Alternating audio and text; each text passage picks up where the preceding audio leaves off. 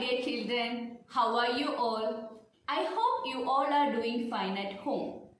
I happily welcome to you in this new academic year. I know you are missing your school, classrooms, teachers and your friends. We the teachers also missing you too. Due to this coronavirus, we are helpless to open the school. So we have to add some fun-filled activity which you can do at home. So let's start doing the activity. My dear kids, you know to count the number from 1 to 10, right? For doing this activity, we need some materials like gum, scissors, eraser, pencil, scale, sketch pen, if you have a brush, please keep a brush or any sticky item or a one bangle or anything which is in circle shape. So let's start. So for making a circle shape, you use any circle shaped things. So I'm just right drawing a circle over here. See like this you need 10 circles to make a caterpillar. See? So once you done with the circle, you have to cut the circle. My dear kids, please be very careful while cutting the circle. So you should be careful while handling this scissors. So let's start cutting this.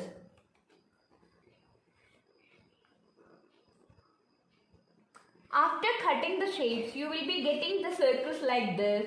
So once you get the circles, you have to paste each circles like this. After cutting this, you have to paste one by one the circles.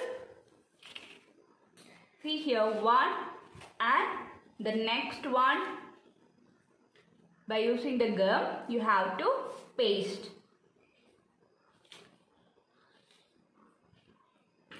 After pasting all the circles you have to write the numbers from 1 to 10. So let's start. 1, 2, once you written all the numbers, this caterpillar will look like this. So if you want to add face of this caterpillar, you can add over here. Otherwise, you can just draw the eyes and smiley over here. So let's count from 1 to 10. 1. You please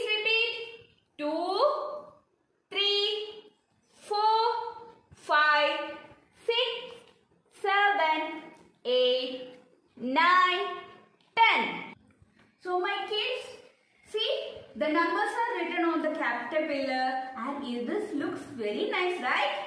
Isn't it? Yes, the caterpillar looks very nice. And we have learned the numbers from 1 to 10.